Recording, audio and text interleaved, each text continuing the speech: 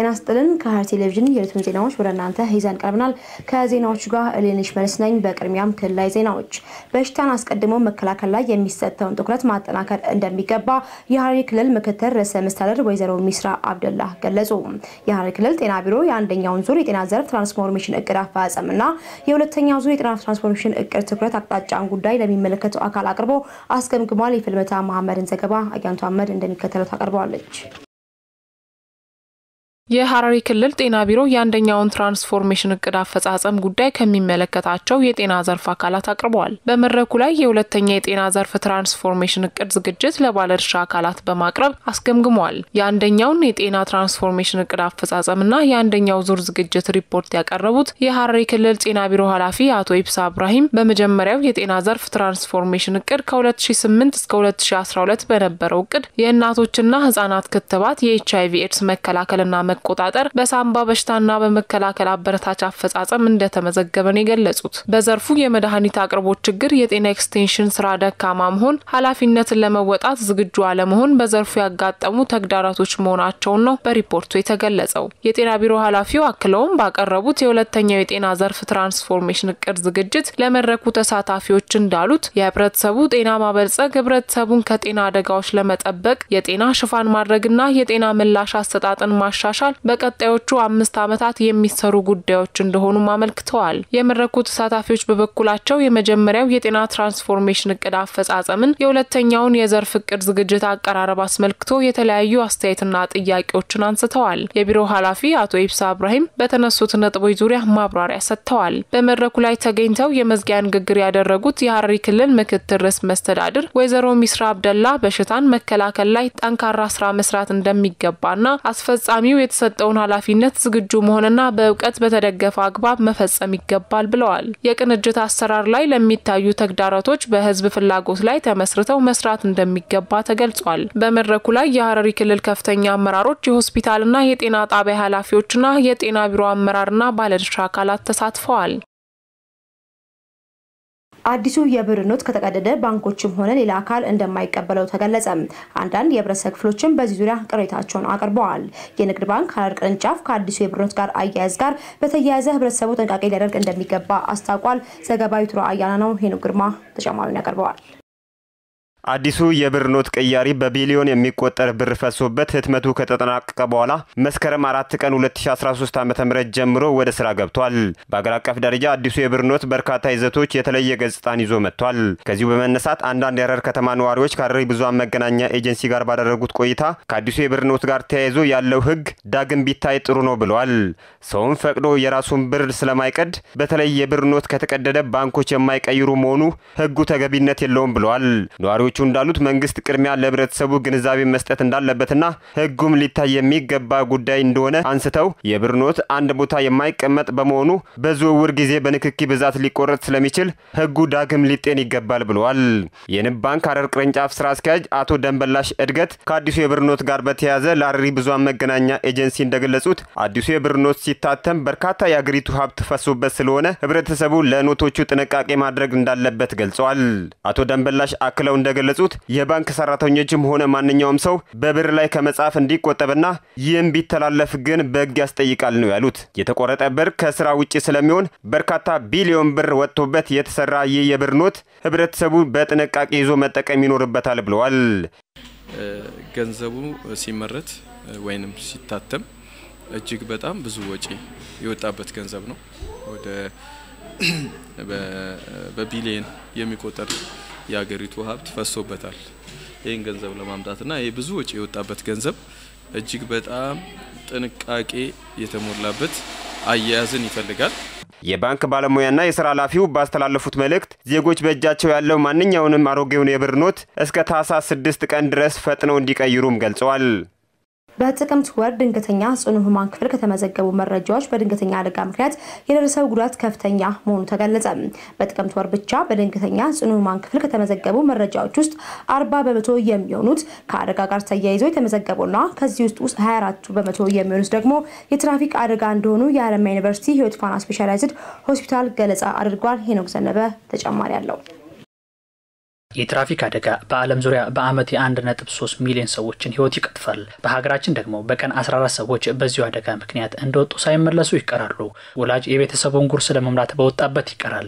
በዚህም ልጆች የጎዳና ተዳዳሪ እስከ መሆን የሰቆቃው ገፈት ቀማሽ ይሆናሉ። ብዙ ለሀገር የሚተርፉ ዜጎችም በዚሁ ችግር ምክንያት ዓላማቸው ተጨናግፈው በአጭሩ ይቀጫሉ።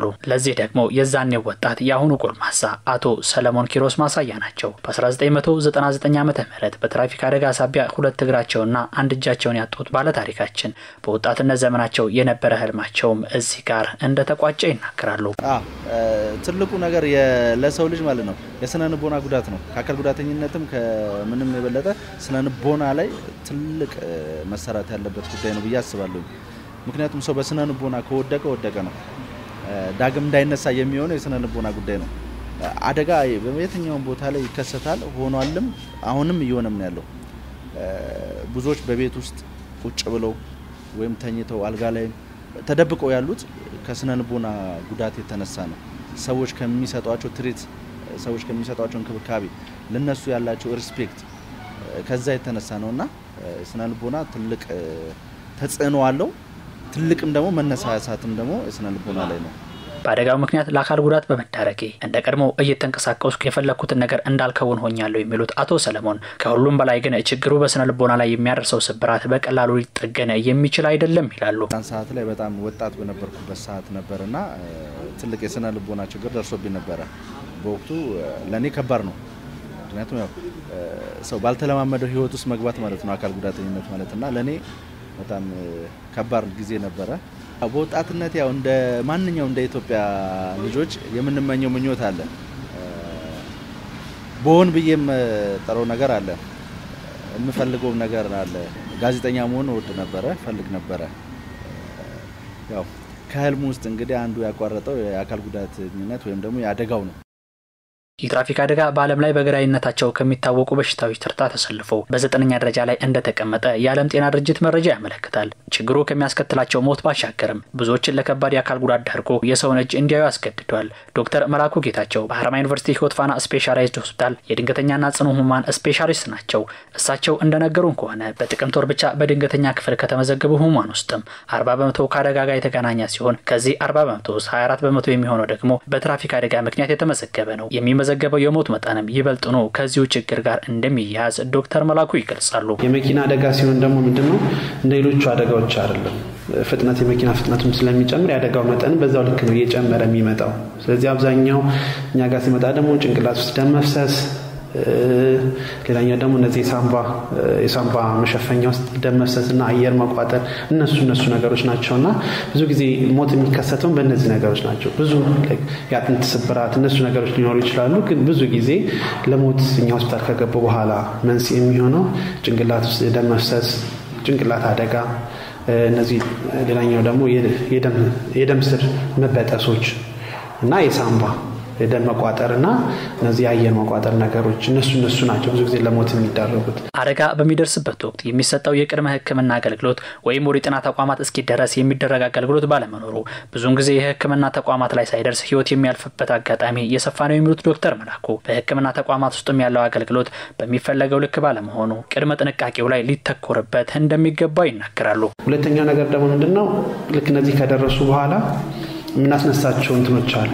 ምንድን ነው የሚለው ለማስነሳት CT scan የሚባለው ወደ እኛ ሰው ሆስፒታል ስንመጣ ደግሞ አሁን ገና on process ነው። እነሱ ነገሮች on ለማድረግ ወደ ግል ነው የምንልቀው ማለት ነው፣ ወደ ጠቅላላ ሆስፒታል። አልፎ አልፎም ደግሞ ድሬዳዋ እሱ ደግሞ ሌላ unnecessary cost unnecessary ደግሞ እንግልት ነው የሚሆነው እና እነሱም ተጨማሪ ወጪዎችን ተጨማሪ እንግልት ነው የሚሆነው እነዚህ ነገሮች ና ስለዚህ እነዚህ ምላ ስናደርግ ስለዚህ ቅድም እንዳልኳቸው የመጀመሪያው prevention is better ነው። always ቅድመ ጥንቃቄ ማድረግ ይሻላል ማለት ነው። የሀገራችን የአስፋልት መንገድ ሽፋን 14 በመቶ እንደሆነ መረጃዎች ይጠቁማሉ። ከ95 በመቶ በላይ የሚሆነው የትራፊክ አደጋ የሚከሰተው ደግሞ በዚሁ በአስፋልት መንገድ ላይ መሆኑ ችግሩ ለሀገራችን ምን ያህል አሳሳቢ እንደሆነ ያመለክታል። ችግሩ አሁን ላይ የብዙዎችን ቤት እያንኳኳ ያለ ጉዳይ በመሆኑ ከእግረኛ እስከ አሽከርካሪ፣ ከማሰልጠኛ ተቋማት እስከ የሀገሪቱ መንግስት ሁሉም ትኩረት ሊሰጠው ይገባል የዶክተር መላኩና የባለታሪካችን መልእክት ነው።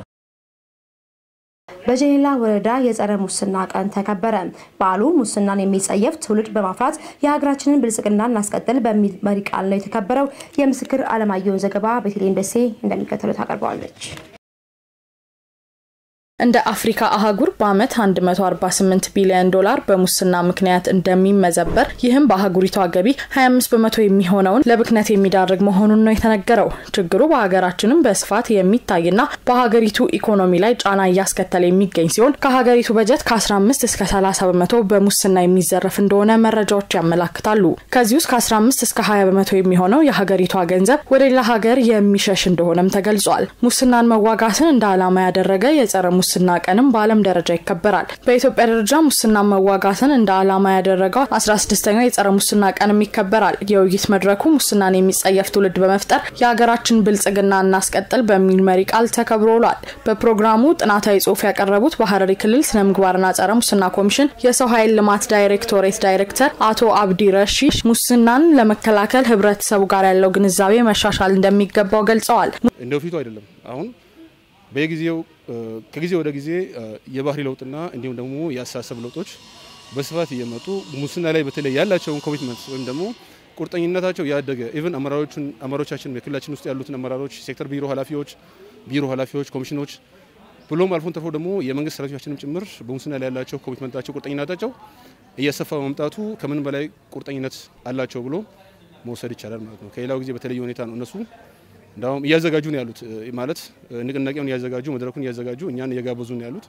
እስካሁን ድረስ ወደ አምስት ስድስት ሴክተር ቢሮዎች ግንዛቤ ማስጨበቂያ ስራዎችን እየሰጥተናል ማለት ይቻላል። ሙስና በግንባታ ትልልቅ እቃዎች ግዢ፣ በፍትህ ተቋማትና በሌሎች ላይ የሚያስከትለው ጫናን ለመከላከል ጥረት እየተደረገ እንደሚገኝ የተናገሩት ደግሞ በሀረሪ ክልል ስነ ምግባርና ጸረ ሙስና ኮሚሽን የህዝብ ግንኙነት ዳይሬክተር አቶ መሐመድ አብዱላሂ ናቸው። 189 አባል ሀገራትን የያዘው በሜክሲኮ የተፈረመው ዓለም አቀፍ የጸረ ሙስና ኮንቬንሽን ሀገራችን ኢትዮጵያም አንዷ አባል ሀገር ናት።